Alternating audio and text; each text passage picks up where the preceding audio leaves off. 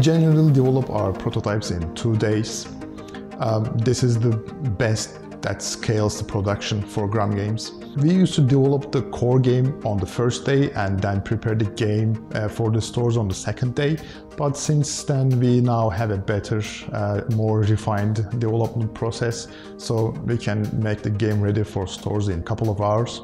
So that gives us more time to develop the actual game. So we start with the core itself, the toy that the game is built upon, the basic mechanic, and then we move on to the UI.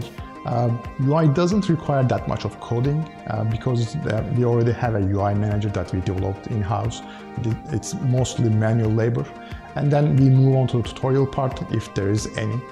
And then we add analytics, which uh, gives us uh, the opportunity to track the game's data, and then we ship the game. This is the basic uh, process from the idea to, the, to a shipped prototype game. The minimum required headcount is three. We need a designer, an artist, and a developer. Yes, we have 70 people here, but we are still a small studio and everyone has an idea. We have tons of ideas. So sometimes we don't have enough people for uh, prototypes. Uh, that's why some projects um, has only uh, two people, a designer and a developer, sometimes a developer and an artist.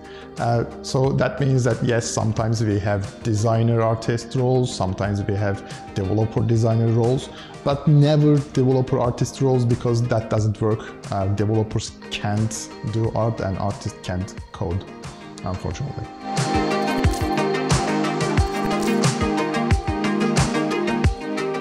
Well, the process is very similar to production. I mean, yes, we do the same things, but in a smaller scale. For example, a designer doesn't design all the stuff, um, only the core game. A developer doesn't develop all the code that is needed for the game. But for us, if I have to say something specifically, uh, that we don't code uh, all the things, we just reuse whatever we have. Even sometimes we use old games. Um, Sometimes we don't even care about the code itself, we just throw the code at the project until it works. Well, we have two secrets. One, keep it simple. Two, reuse the code you have. Keep it simple, we just develop the core game, don't polish it too much, and just ship it. Um, reuse the code whatever you have, and uh, we just use our own frameworks and uh, use third-party libraries or plugins or frameworks. For example, we have um, Lean Touch for input management. Uh, we use uh, Lean Tween for tweening libraries. Um, we have SR Debugger for uh, in-game debugging and profiling. And then we have uh, Newtonsoft JSON for JSON parsing and stuff.